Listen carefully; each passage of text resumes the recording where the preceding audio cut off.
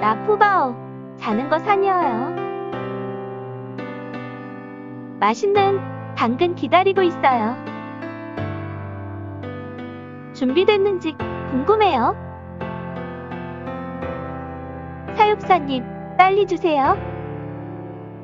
뿅. 고마워. 맛있게 먹고 응화도 해야 돼.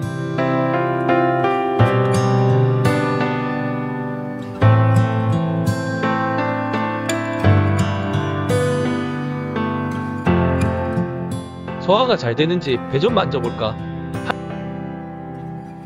한 손으로 잡고 먹는 거야. 나도 커서 그 정도는 알아요.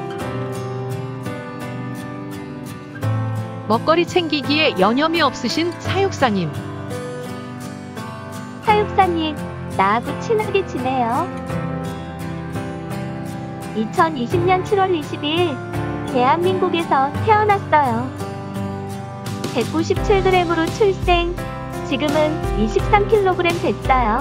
태어난 지 244일 됐다고 기록되어 있어요. 탐색을 즐기고 호기심 많은 암컷이랍니다.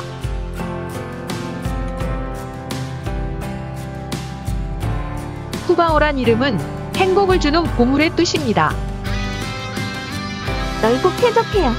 나 혼자 지내기엔 너무 크네요.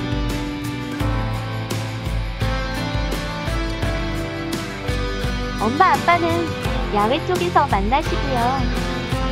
후바오 잘 놀고 있다고 소식 전해줘요. 내가 아빠 러바오입니다. 2011년 중국 사천성에서 태어났어요.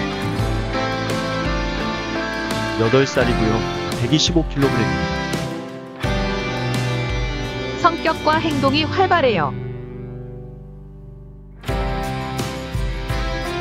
야외 쪽으로 더 가서 엄마도 만나보세요. 나 엄마, 아이가 오는 새끼 보고 싶어요. 2013년 출생으로 7살 됐어요. 아빠, 엄마 만나뵈었죠? 다음에 또 만나요.